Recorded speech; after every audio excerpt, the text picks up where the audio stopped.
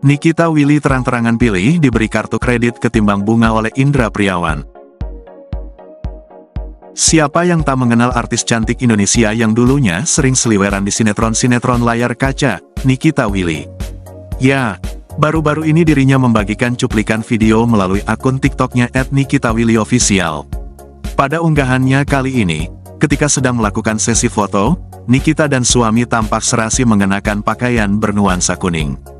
Dalam video itu, terlihat kemesraan Nikita dan sang suami, Indra Priawan, sedang duduk berdua di atas rumput hijau. Keduanya seperti sedang berpiknik di taman. Kemesraan semakin ditunjukkan saat Indra memberikan setangkai bunga mawar berwarna pink kepada Nikita.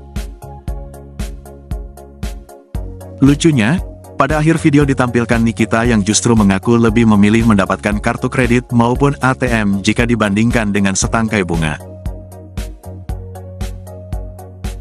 Tapi aku memang dari dulu gak suka dikasih bunga. Aku lebih suka dikasih kartu kredit atau kartu ATM, ungkap Nikita sambil tertawa lepas. Hal ini sontak mengundang reaksi lucu dari netizen.